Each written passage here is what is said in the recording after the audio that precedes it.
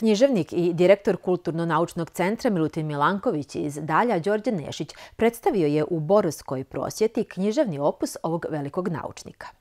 Red nauke i red književnosti. Ovako je velikog naučnika Milutina Milankovića Borovskoj publici predstavio njegov, verovatno najveći savremeni poznavalac, književnik i upravnik Kulturnog naučnog centra Milutin Milanković iz Dalja, Đorđe Nešić. Krenuo je Nešić sa Milutinovom naučnom karijerom radu u tadašnjem centru sveta Beču i borbi s anglosaksonskim naučnicima. Kao most između naučne i književne karijere, ubacio je kratke crtice iz naučnikove biografije, često spomenjući anegdote. Drago mi je da, je, da se Borovski pododbor prosvjete sjetio da se u njihovim prostorima kaže ponešto o Milutonu Milankoviću i to na način koji je e, pogodan za, za, za širi klub posjetilaca, dakle o Milankoviću kao naučnik, ali Milankoviću kao književnik. Ono što je svima nama koji smo laici za nauku blisko. Dakle, mi možemo Milankoviću nauku protumačiti na relativno jednostavan način, ali njegove naučne knjige su teško čitljive za lajke. Dok su njegova, njegova književna i naučno-popularna dijela uh, vrhunskog, vrhunskog kvaliteta i, i evo ja još uvijek izražavam čuđenje kako to nije u lektiri za srednje škole, bar u matičnoj zemlji Srbije. Nešić po pozivu vodi stručno razgledanje Kulturno-naučnog centra Milutin Milanković na koja dolaze ekskurzije iz obližnjih osnovnih i srednjih škola, ali i organizovane posete iz cele Hrvatske. Na taj način on Milanković je u nauku, koju danas izučavaju institucije poput američke NASE, prenosi laicima. Ja sam naravno isto laik za nauku književnosti, moja dakle, prva opcija. Ja sam Milankovića upoznao preko književnosti njegovih književnih dijela.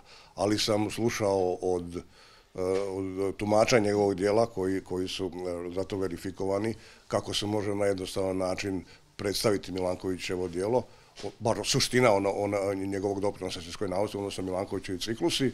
I u tome mi naravno pomažu i geomehanički modeli i softver koji se nalazi u njegovoj rodnoj kući, tako da evo uspijemo da to prilagodimo i učenicima predškolske dobi, na neki način preko crnog filma Ledeno doba, koja je neka kopča sa Milankovićevim dijelom i učenicima osnovnih srednjih škola, studentima, e, pa i ljudima drugih interesovanja i zanimanja koji posjete e, centar Milutina Milankovića u Dalju. Milutin Milanković je dugo boravio u Nemačkoj gdje je studirao i radio i kada se vratio, uplašio se kad odlučio da piše svoje najpopularnije delo kroz vasionu i vekove, da je zaboravio maternji jezik jer je i svoja naučna dela pisao na nemačkom. Tako da je te prve ogledne primjerke e, e,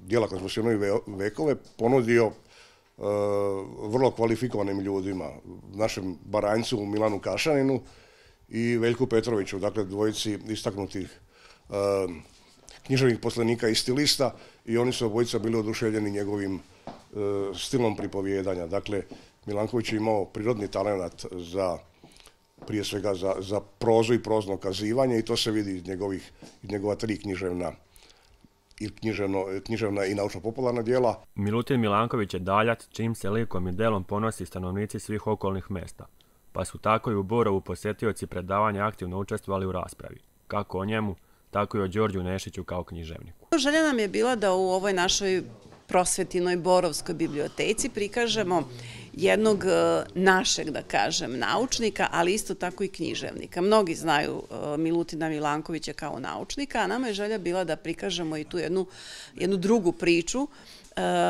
njegov književni rad. A ko to može bolje napraviti na ovim područjima nego Đorđe Nešić? Pa evo, izuzetno mi je velika čast i rado što je Đorđe prihvatio da bude večerašnji ne samo gost, nego i domaćin ove kulturne tribine koju smo nazvali upravo tako Milutin Milanković, naučnik i književnik. Kako kažu iz Borovske prosvjete, plan i program za sljedeću godinu je napravljen, a od noviteta najavljuju formiranje dečeg hora.